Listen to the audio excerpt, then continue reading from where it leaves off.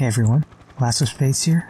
Last week I posted the first part to my Payday 2 secret walkthrough, and in that video, I said once I had all 20 achievements, I'm gonna unlock the secret and access the Ark of the Watcher.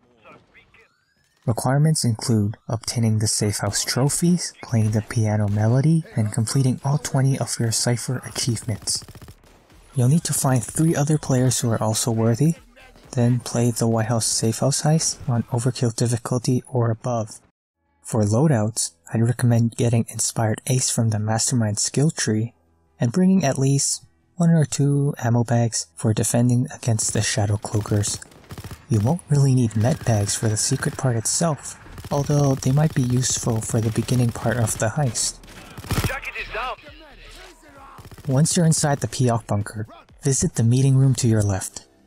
If all requirements for the secret have been met, the painting will be glowing. Now, remove the painting. From this point on, nobody will be able to rejoin your lobby. The host will obtain C4 in their inventory, which must be used to create a hole in the wall.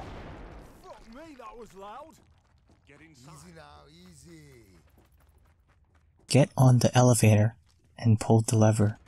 On your descent down into the mineshaft, you will see a vault with the all too familiar cryptic language. Note there are four levers in front of it. Do not interact with the vault until your team is 100% ready, as the Shadow Cloakers will start spawning. Drop your ammo bag deployables, and hopefully by now you've delegated roles for your crew. One player should focus on solving the riddles, while the others will be busy defending. You will be there for the next 20 to 30 minutes, but as long as everybody is pitching in and doing their part, uh, things should be pretty easy. Have your cheat sheet out and interact with the vault to begin. Remember the cryptic language is read from right to left, so logically the password should also be from right to left, starting from the outermost ring inwards.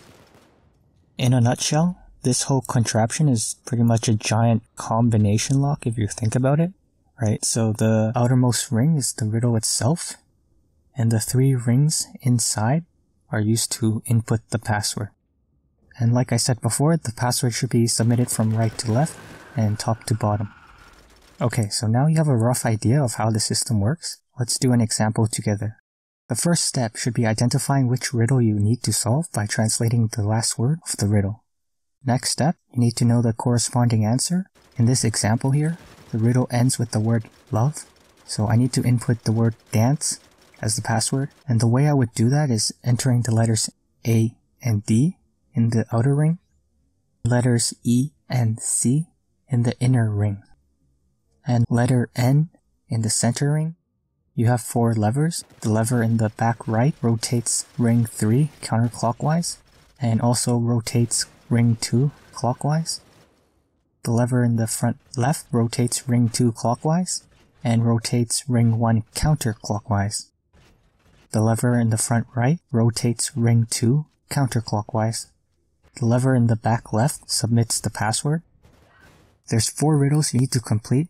Always double check your answer before submission. If you mess it up, the game will reset from the first riddle. Yes. While you're busy pulling levers, your teammates should be defending. Cops don't spawn down here, and Shadow Cloaker charge attacks don't count towards the total number of downs before going into police custody. Once you've unlocked the vault, enter the chamber and take your time to admire the architecture. Give yourselves a pat on the back, but prepare for the next stage. The dentist will call your heisters' names individually, then inform you he's with Bain and Locke, and suggests you open the door. Your crew should proceed to the waypoint, but once the door has finished opening, do not move further. From where you're standing, kill the dentist. Grab the bag of Mayan gold on the ground and drop it on the marked area. Take the gold bars and place them into the slots on the ground.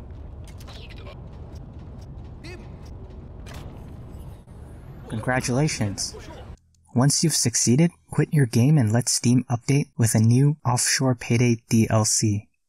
It's nearly a 1GB download, but you'll unlock the movie theater in the main menu. As individuals, we have opened Final thoughts? Uh, when I started playing Payday 2 in 2013, I never thought this game would have such a lovely ending. However, there isn't much replayability like Overdrill from the first game, but I've always loved the cinematics for this game. Anyways, I hope this video helps you guys. Feel free to leave any questions or tips in the comments section. Thanks for watching and best of luck. Will have earned their pay. The greatest heist of all.